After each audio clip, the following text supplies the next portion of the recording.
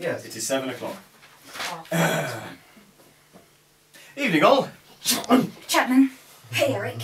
Listen, I'm sorry about leaving you in a back alley all those days ago. No, you're not. You're right. I'm not. Anyway, I just wanted to come over. and- Eric, Yes. stop talking. Now look here. Things are going to be a little bit different from now on. Oh. Funn Funerals is under new management. Right, I mean, that hasn't been confirmed. Under new management. And Eric Chapman, you might have given us a run for your. Under new management. And Eric Chapman, you might have given us a run for our money in the past. But Funn Funerals shall keep on going until you've been squished right into the dirt. No offence. None taken.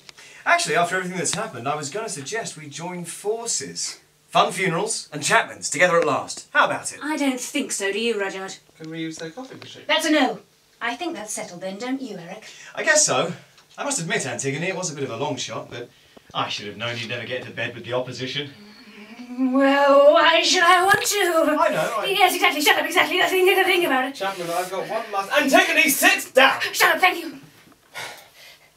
I've got one last question to ask you, Chapman. Shoot. Why did you come to the island? Ah, well, that's a long story.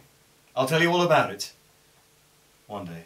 You're doing that thing again. Sorry, Georgie, bad habit. I picked it up a long time ago. Stop it.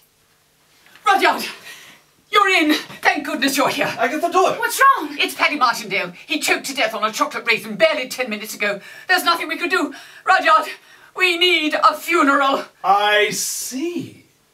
Well, Antigone. Georgie. Here we go again. I'll do it. Really? Yep. Super. Let's go. Right. But, but, but. Enjoy yourselves. Bye.